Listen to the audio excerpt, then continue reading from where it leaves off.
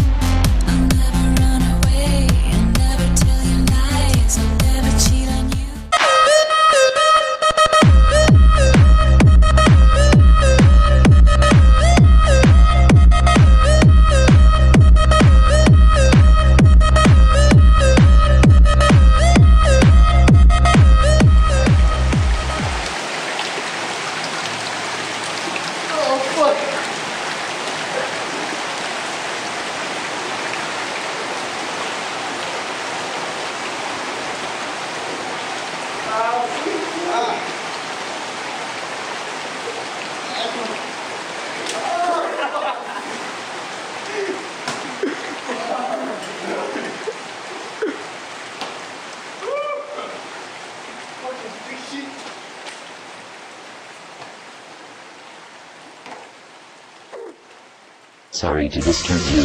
You have received a message from Cyberpunk.